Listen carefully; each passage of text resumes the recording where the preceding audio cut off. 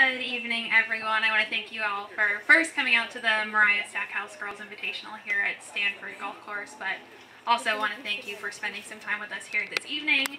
As you all know, we have a very special guest with us here this afternoon for this tournament. Really excited to share some wisdom and knowledge with all of you, but just to quickly introduce the the friend that we're going to have up here with us today. Uh, Mariah Stackhouse was a former AJGA junior, just like the rest of you all in her AJGA days, had a super impressive career of four AJGA wins, a three-time Rolex Junior All-American, 2011 AJGA player representative, and was on the 2011 Ping Junior Solheim Cup team. In college, she was a four-time All-American, the 2015 national champion, and then played on the victorious 2014 uh, U.S. Curtis Cup team. Started her LPGA career in 2017 and has already had five top 10 finishes. Uh, again, really, really honored to have you here with us. Really excited to have the girls get to know you a little bit better as well, but want to have a very special welcome to Mariah Stackhouse.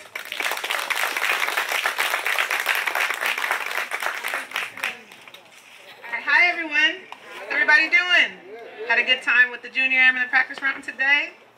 Alright, that's awesome to hear. So First off, I'm really excited to be here with you all today. Um, I want to start off with a huge thank you uh, to the AJGA and, and, everybody that's been involved in making this uh, come true and, and, and, giving me the opportunity to be a part of it. It means a lot to me uh, to be here with you all today um, to kind of uh, uh, host this event and, um, you know, really support uh, you all who are the next generation. So I'll start off by saying that and, uh, and, and going ahead and giving everybody a huge luck this week. I can't wait to see uh, how you all do. And uh, as you know, I've spent a lot of time on this golf course, so um, I hope it's a treat for you all and, and, and that you uh, rock it this weekend. So thank you um, for coming uh, this weekend. And um, I really want to make this mostly a Q&A.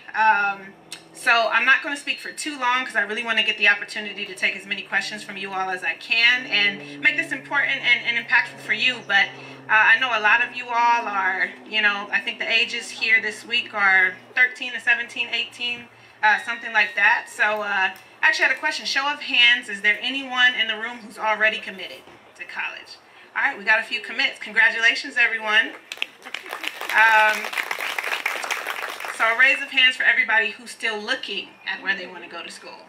Still considering, all right, quite a lot of hands for that too. So for those of you already committed, you know, you're already on your way. I don't, uh, I don't have much to share about that part of your journey. You made the decision, congratulations.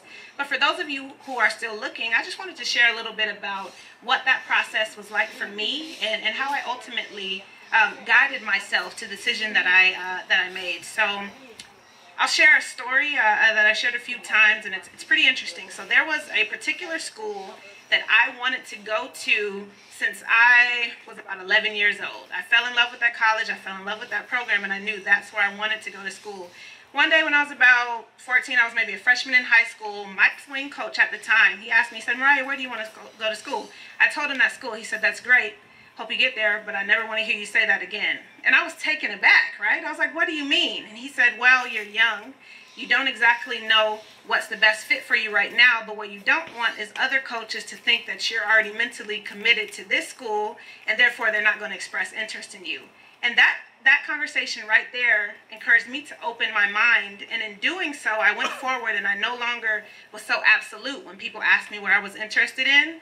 And the effect that that had on me was that I did open my mind. Um, and so as I was going through the process of looking at schools, considering, my parents uh, were like, okay, we're going to go out west and visit a couple schools. And I literally was like, no, I'm not going that far from home. That's okay. We don't need to do this trip. And they're like, don't have to commit, but I do want you to go and I want you to talk to these coaches and have the experience. Um, and I spent 24 hours on the, the campus of the college that I committed to, and I realized this feels like home, and I know that I'll be happy here. And it was being able, it was being guided, you know, by my parents, by my coach to understand that at that age, I didn't know and that I needed to be open to those experiences, and I'm incredibly grateful to them. Uh, and I had a great four years um, uh, where I went to college, and so I say that to say keep an open mind and, uh, you know, I think there are a few great things to look for when you're, uh-oh. All right, cool. There are a few great things to look for when you're considering school? Okay, I'm gonna step back closer to the speaker. I'm gonna stay in this little area right here, clearly. um, I think a big thing uh, that I've learned from my experience on the team and then a few uh, from a few schools that uh, buddies of mine went to, I think one of the biggest things that you want to talk to coaches about as you're doing this process is how do you choose your travel team? And what I mean by that is coaches have five travel slots. Are those picked through qualifying at school or does the coach have picks? And so I recommend talking to a coach and I like the idea of favoring programs that have at least four qualifying spots and maybe one coach's pick. Because what that does is it makes sure that you're being chosen, are given a fair shot at being chosen for the travel team um, based on your performance week in and week out at previous tournaments and on campus. A lot of coaches, I won't even say a lot of coaches, but there are a few who will handpick a significant number of people that go on the team you might have played better the past few weeks, but they chose somebody else because, I don't know, they just want to pick that person for the travel team. And now you're not given the best opportunity to perform and play your way into those events. So I think that's a really good way to keep the college experience competitive while you're out there. So that's one really big uh, gem and token that I'll give to you all is ask the coaches how they select the travel team. That really impacts your entire experience uh, as a college athlete. Um, and uh, yeah, and then other than that, like get to know the team, get to know the vibe, really talk to the girls at the schools you're going to. They'll tell you the truth about the program and how they feel. So uh, take advantage of those visits um, or, or, phone calls, however that might look, and find out as much as you can about just the general life that's fostered on that team, because um, that's your family for the entire uh, four years that you're at that school, and you wanna you wanna enjoy that experience, and you wanna enjoy the people that you're around. Um, so that's the advice that I give to you all who are still considering. Um, and then for those of you who might be going in soon, uh, you know, I'm sure there's some nerves for that, right? It's an entirely different experience. And uh, I remember my flight actually to California. I was playing that summer, playing some AJGA events, and then I got on the plane, and I don't think it was until that very moment that I realized okay, I'm, I'm, I'm, on my way to college now. And I almost had a full-blown panic attack on the plane because I started thinking, I'd already got my schedule, I'd got my practice schedule, workout schedule. I was like, how is this going to work? There's not enough time in the day for me to be able to do all of these things. And so I went in just really nervous about what that was going to look like and was I going to be able to perform both athletically and academically. And then what I found was it was actually, I think, yeah, we had a lot of time um, dedicated to all of those things, but when you're on a team, you have such a, a, a, strict schedule that you actually end up being a bit more um, competent with time management than a lot of your peers might be because your schedule's kind of set out for you. And it makes that transition a lot smoother than you would ordinarily if your schedule was completely up to you and you had all that time in the day and, you know, no guidance necessarily. And so I found that I got to campus and I immediately had a family in my team. So you're wondering how it's going to shape up socially that was easy off rip because I had them to start off with, and I had that sense of belonging uh, and that sense of comfort with the golf team. And then, uh, you know, as you start, as I started playing, uh, I started going to class um, and making more friends. Um, you know, just in the general uh, student body, I, I, found that I was able to to, to slide into that rhythm. Uh, pretty quickly and, and, and find my bearings. So for those of you who are a little bit nervous, don't be. Um, you'll get it. And then when you don't, you know, call mom and dad and, and, and panic a little bit, and I'm sure they'll be there to ground you and tell you that you can do it. Um, but yeah, and uh, so those are two of the things that I kind of wanted to talk to you about. Um, but then also, raise your hand for those of you who are interested in playing on the LPGA after you're done with college. Anybody? Yeah. Um, I I'm going to be completely honest, I'd say if I could go back in time, would I do anything in terms of training and getting ready for the LPGA Tour a little bit differently during my time in college? Um, and I would absolutely say yes.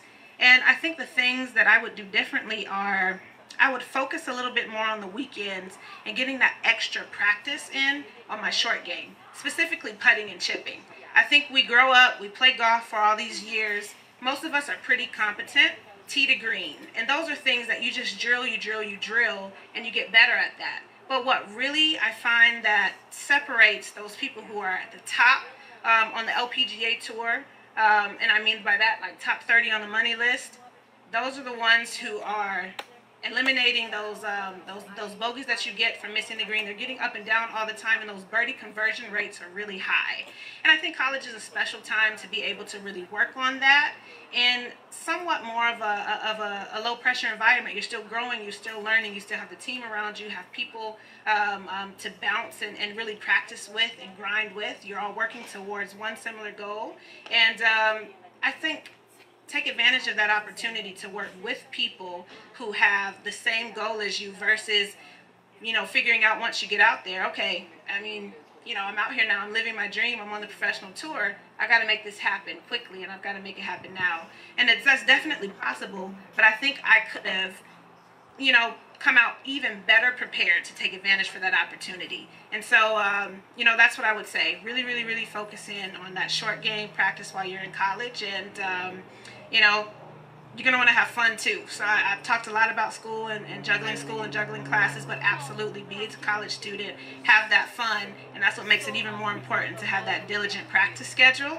Um, you know, because you deserve to, to go out with your friends sometimes. You deserve to go to those birthday dinners, right? You want to have a well-rounded experience. And, uh, you know, I think you can have all three of those things um, as long as you're, you know, diligent and, and, and honest with yourself and your time and, and structured. So that's what, uh, those are a bit of the, you know, keys that I might have focused in on a bit more while I was in school. But, um, you know, I, uh, I had a great time and I think that it definitely set me up and prepared me um, for for a career on the LPGA, and, and, I've been out here having a blast the last five years, and wouldn't trade it for the world. So that's just a little bit about what I wanted to share with you all. And now I want to open the floor up to any questions anyone might have.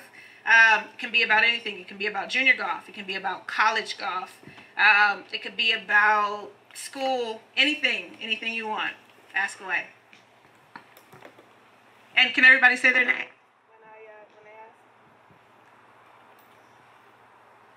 Hi, um, my name is Jasmine Crew. So I had a question about um, college and then moving on to like the next level. So I heard that you won the 2015 NCAA championship. You were on the Curtis Cup team. You know, in my eyes, you're definitely good enough to move on and go on the LPGA in your collegiate like years. So like, what made you stay? Like, obviously, you're thinking about practicing for the LPGA Tour too. What made you stay at Stanford for all four years? What made me stay at uh, Stanford? That's a great question, uh, Jasmine. Thank you. Um, for me, I've always been somebody, um, you know, ever since I was younger, I really love to learn. And I think past that, I've always enjoyed um, the relationships that I've built, not just on the golf course, but with my peers, both in high school and in college. And so what I found was a community of people who were driven um, all around me and that I built that family with, and we would have fun together. And so I was really happy with my experience as a student athlete. And as a result of that, I wasn't in a rush to get away from it. And, um, you know, for me, coming to Stanford, I really wanted to take advantage of that opportunity educationally. And so um, it meant a lot to me to get that degree, and that's why I stayed. And I also understood that the LPGA um, was going to be there for me, um, whether I turned pro early or turned pro after. And so I made that conscious decision to um, stay true to my values and, and, and, what was important to me. And, and like I said, I was I was having a blast. I was having a good time. So I wasn't in a rush to get away. But thank you for asking that.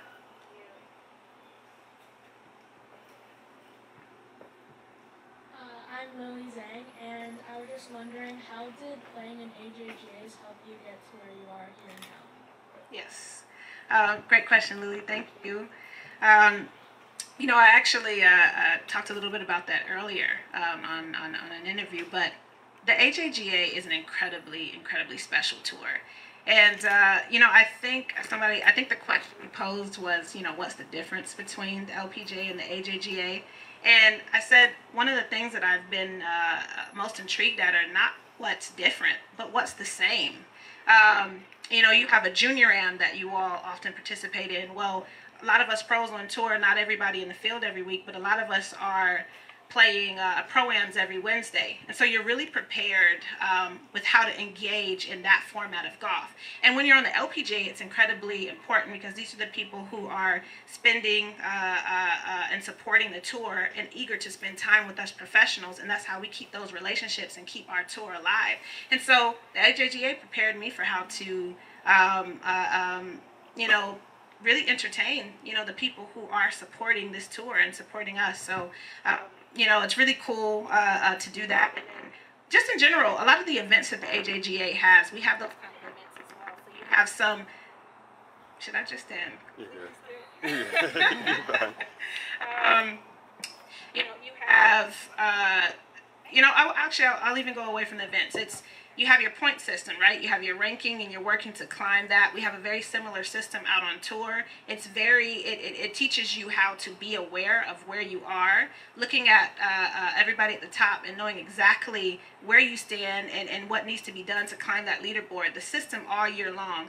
The awards at the end of the year given to the people who are performing high year in and year out. That's the same thing that we have on tour. So it really is, you know, it really is like a mini tour preparing you for how to, um, you know, handle a season long endeavor. And it's different, right? You're not playing every single week. But the fact of the matter is you start at the beginning of the year and these points are matriculating as you go are these points are adding up as you go along and they're counting as you go through the season. What I really loved is that pressure, right? The, the, the pressure that put on me, it's the same here on the LPGA, you know, we have goals of making the Solheim Cup team and, and, and these kind of lists. You all have the same thing, right? You're trying to make the Junior Solheim Cup team. Is it still uh, Wyndham? What, are you, the Wyndham Cup? Yeah. You still have the Wyndham yeah. Cup, right? So you have those types of teams that you're trying to make. You want to get on the Wyndham Cup. That's a benefit of performing well season uh, uh, throughout the season. I think there are so many things that the AJGA teaches you. It teaches you about traveling um, uh, uh, you know, across the country, different climates, time zone changes. You're going to do a lot of that as both a college athlete and a professional golfer. So what you don't realize is you're traveling around with your parents and, and, and it's easy right now, but it's really teaching you how to adapt very quickly in, in, in those circumstances, different types of grass, um, different types of courses. And uh, you're just learning how to how to study and, and, adapt very quickly and that is going to be incredibly beneficial to you in college and super beneficial to you um, on the LPGA when everything changes every single week.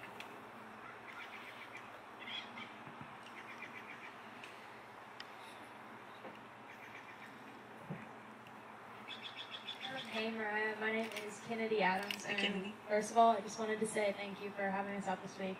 Um, I know it's not possible without you, so it means a lot to us. Um, so obviously endorsements are a huge part in giving you the opportunity to play on the LPGA tour with the expensive travel and um, the purses not being huge as well. Um, so what are some of the contributing factors that gave you the ability to be attractive to um, larger corporations and enable you to gain endorsements from them? Mm-hmm that is a that's yeah. You hit the nail on the head so i see you're already uh, doing your research about what it takes to be on the lpga tour. Great great. Um, yeah. Endorsements are really huge like you said to be able to help you just with the expenses caddy expenses travel expenses international expenses those really start to add up. And i think the pressure of wanting to perform on tour itself um, you know that's what you're here for it's the goal and and, and you want to figure out how to make that as as you want to take as much stress about off of that as possible and that's what sponsorships make possible. Um, i'm really fortunate to have a really great agent. He's sitting right over there jsk takes good care of me. I gotta shout you out put you on the spot. Um, but um, you know that's he's been incredibly helpful to me uh, um, getting some of those sponsorships. But i also have friends who um, are out on tour independently. And so what a lot of them do um, to, to, build those relationships is we talked about the junior ams that you all do. A lot of the times in our pro-ams, you'll play with people who have companies. Um, obviously, if they're there, they're interested in women's golf. You make a great connection in that, that pro-am group you might have found yourself a sponsor right there who just took a liking to you and is interested in supporting your journey on the LPGA tour. Um, I have a lot of friends who are not afraid to write uh, to, to companies that they're interested in representing and saying, hey, here I am. Um, this is my brand, um, and, and, and this is what I believe in, and I think that we would be a great fit um, uh, working together on tour. And so I think I'm going to harp on a word that I just said brand. I think you all especially live in a time where social media can be a huge benefit to you all in building a brand. And what I mean by that, it doesn't have to mean you have a lot of followers. Because um, I've actually found that, yes, that can sometimes make it easier for you to get sponsorships, but they're looking past that. So what are you putting out, you know, into the world? What does your content say about me? So, um, you know, what are you engaging in, etc. You all can really, really, really use that to your benefit, which I think is special, and it's a great way to market yourself that a lot of people in the past didn't necessarily have. So um, that's way to take advantage of that. And then just know what your strengths are. So if you're a lot of corporate companies, um, you know, they like uh, college athletes who, you know, had a great college career but also enjoyed their academic experience, stayed four years. A lot of companies are like that. You go to a lot of kind of more athletic companies, they're looking more so at how did you compete in college? Did you win tournaments? Do I feel like um, this is going to be a great investment for me moving forward, uh, an LPGA player? So that's what your athletic brands are looking for. Um, so it's really figuring out your niche, where you fall, and what you can offer that company.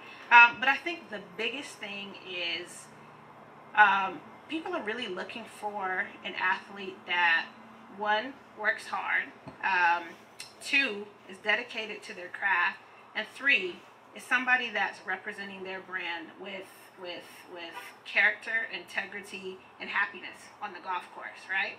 And um, I think those are things that you can kind of think about and promoting that really make you attractive to companies. Um, but it all depends on, like I said, corporate versus athletic versus, um, you know, it just depends on where, where you want to align yourself. But there's a lot of different ways you can go about that, um, and the social media route too. So it's all up to you. I, I just can't do the social media. I've tried so much. I'm working on it, but I'm like, I don't know how you all post all the time. I post one post, and I'm like, all right, next month, you know. Um, but I think you all are a bit more used to that, and that can be huge. Yeah, you're welcome.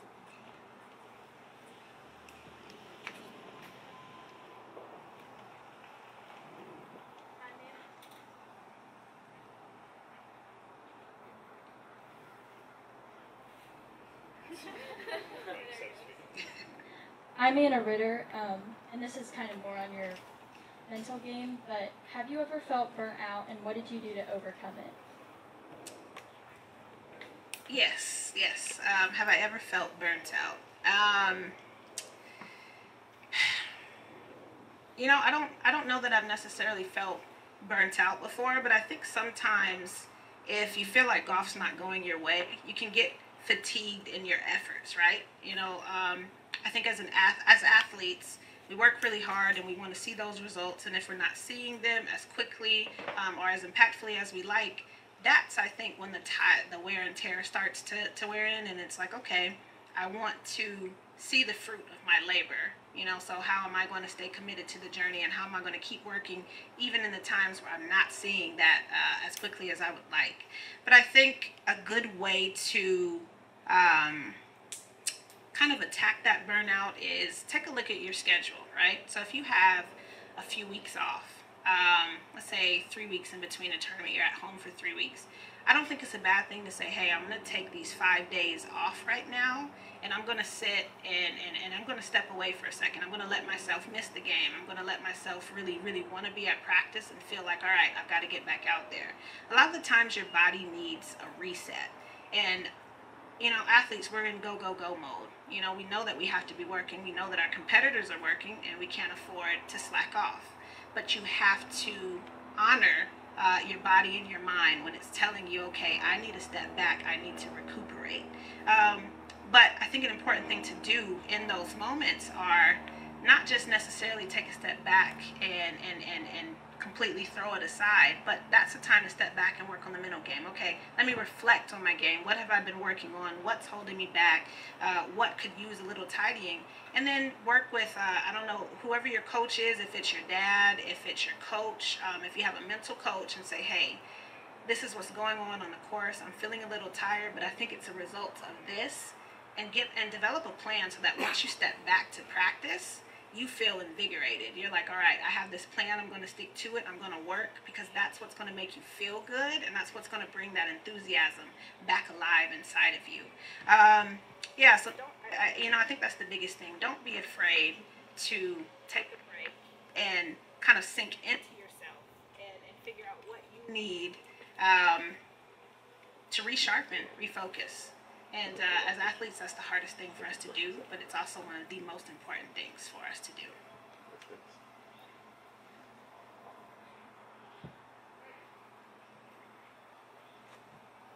Uh, hi, my name is Jacqueline. Hi, Jacqueline. Um, I was just wondering what the hardest part about playing on the LPGA is.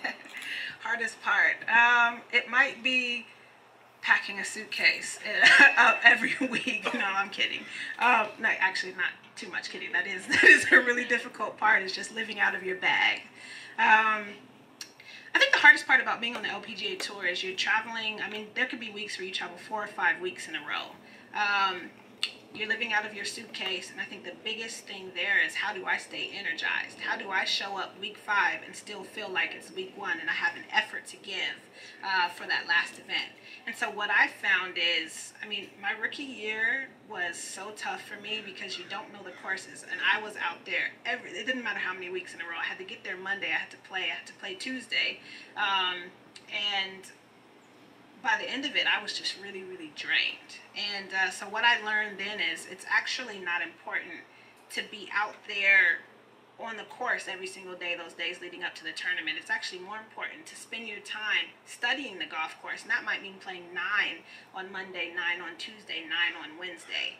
Um, taking your time, really studying, learning the course, um, uh, and then spending more time on the short game at the course. And so I find that I spent so much time in the course that by the time I was done, I wasn't spending as much time practicing because I'm spent. And I've been out here for weeks now and I'm tired.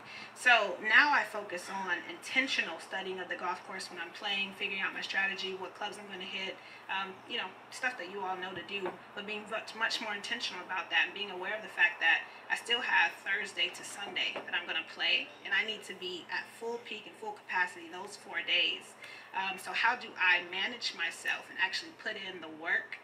Um, you know, whether that's something that I need to tweak in my swing, whether that's something that showed up in my putting, I need to drill in or out over these next three days to get ready for the next event. How to do that smartly. Um, and I think that's the biggest difference. And I actually had a couple vets that, that I got to be pretty cool with rookie year who said that. I just couldn't listen then. I just felt like I needed to know the golf course, but they were absolutely right. And I wish I'd heeded that a little bit then um, and, and not fatigued myself as much. And, you know, that, that, you know, there were some events where, you know, I knew I was playing well, but I just couldn't keep that steam because I was tired.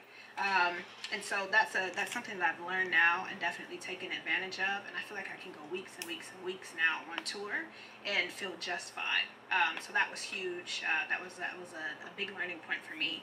Um, but yeah, it's just figuring out how to play smart out there, and it's it's hard when you start, but you figure it out. Uh, it's Lily again. I just wanted to know what your warm-up routine for tournament is and how you control your nerves and what your mindset is going into. Yes um, my warm up routine, uh, controlling nerves and mindset. So, uh, one thing I want to say about nerves is nerves are your friend. Um, nerves show up when you have an opportunity, and nerves show up when you care. Um, so, that's always something to lean into. Um, and, and so I relate nerves to opportunity, and that means there's something for me to get out here and grab, and let's be excited about that. Um, so that's kind of how I talked myself through nerves um, and, and, and, and reinforce the fact that they're a good thing uh, uh, to experience. As far as warm up routine, um, that can be something that you also use to temper it as well. Having a, a, a, routine that you go through every single time before every single tournament, consistency relaxes us and it gives us something to fall back on and feel confident in. And so my routine, um, I start off with the range, um, and actually, I'll go back I start off with now, I never used to have to do that. I had to do it the last two years is I found that I used to be able to show up to the range and get going and all of a sudden I need to stretch. So you all are a long way from that point, but it might be coming soon. You never know. Um, so I do actually a 30 minute uh, stretch, glute, and core activation before I go out to the range. Um, so I get to the course 30 minutes early to do that uh, in our locker room. And then I go to the range and I hit seven balls with every other club, um, and I just work my way up through the bag uh, with that. And I might, let's say, work on a couple draws, or I might have a swing uh, thought in, in, in place. But really, I'm just trying to loosen up. And a lot of players that work on something intentional on the range, I like to be free. Um, the lowest round of golf that I actually ever shot uh, I was late to the tournament. This was in college. I was late to the tournament, panicked. I was like, oh man, uh, I'm gonna be in trouble for this. And I had like time to hit three balls, um, roll two putts, and had to go straight out to the course, shot the best round of my life. And so that really taught me that a warm up is is it's not about it's not a practice. It's it's a loosening of the body, and all we want is to feel like, all right, we're loose, we're ready to go play. Um, so I try to approach it that way on the range. Um, so if I'm hitting it great, I'm going to say, yeah, you know, this is great. I'm going to go stripe it today. But even if I'm not hitting it that great, I'm saying, I'm just loosening up and I'll get out to great. That's always my approach um, to the range. And then I'll go chip a little bit and I just chip around. I try to always put it in the rough in the toughest positions and see a couple good chips. And, and actually, I like to try to focus on my chipping, chipping one in the hole. Um, so I'll give myself a couple short ones maybe so that I can see that. Um, you like the sound of that, that intention. And uh, so like I might choose maybe a eight yard downhill chip shot. Try to chip one of those into the hole. You do that a couple of times. That just really sets you off. All right, I'm chipping well. I've chipped one in. You feel good now. Um, and then I do the same thing with my putting. And uh, putting is actually the only part of my routine that might change um, every now and then. And what I mean by that is sometimes we're putting great and we're in a rhythm. But it's one of those things where if you feel like it's gotten a little bit off, I'll adjust something for putting really quick and give me a drill that makes me feel confident again.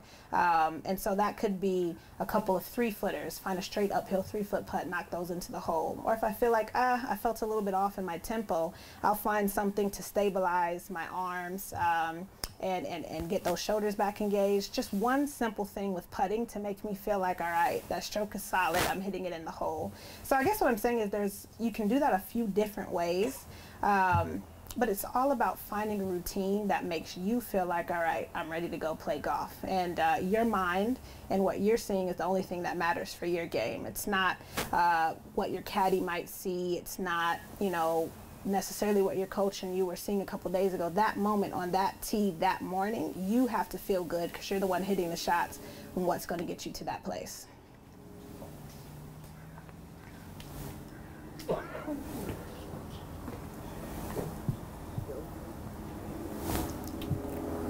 Hi, I'm Blaine.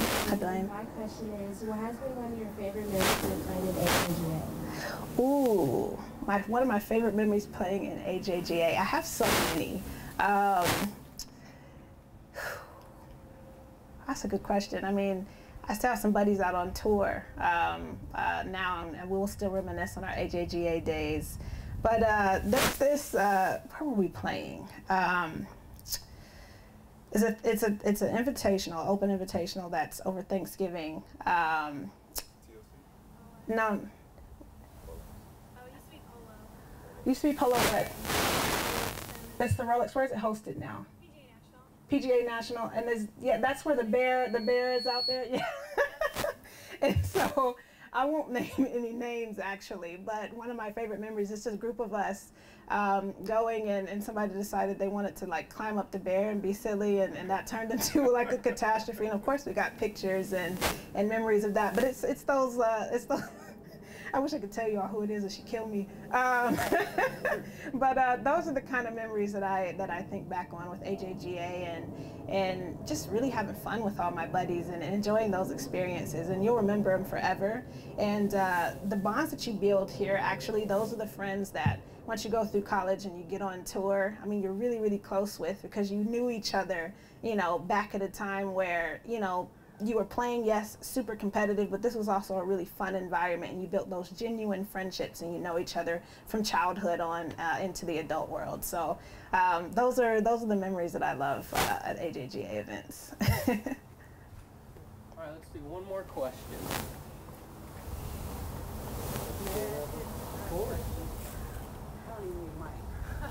All right. So while you're at Stanford or, or in college and you're traveling, how does the study look? How does studying and, and, and, and forcing yourself to, to do the work, how, what does that look like? Um, forcing and studying myself. Gosh, sometimes I remember like getting through a quarter and, and being like, wow, I did that. How? um, but every college athlete uh, uh, can agree with, with that. It's, um, you know, I think what I, I felt finally learned to do kind of into my sophomore year was look at my um, syllabi ahead of time and actually know what was coming.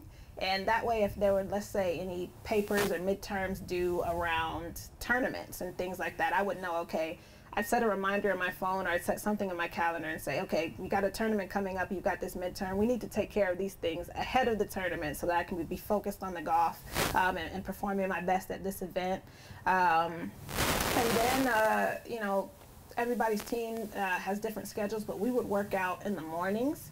Um, and so I actually, that actually forced me to really stay on top of everything because, I mean, if we have to be in the gym at 6 a.m. Monday, Wednesday, Friday, that means on those nights I got to be in the bed at a reasonable hour to be able to get up and perform in the gym. So then I wasn't dilly-dallying in the afternoons. Um, I was getting my work done, I was getting my studying done, and that kept me on a tight schedule.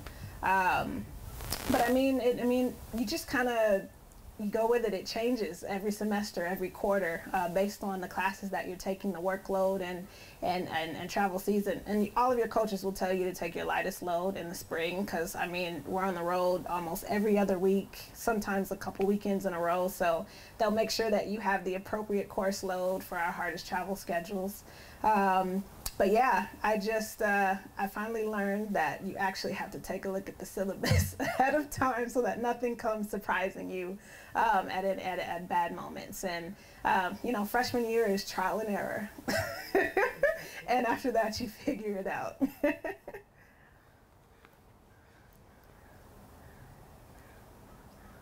All right, well, thank you, everyone. Thanks for having me here. Thanks for being here.